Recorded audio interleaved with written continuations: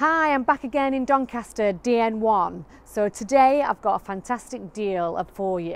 So this property is a two bed mid terrace property, currently on the market with Haart.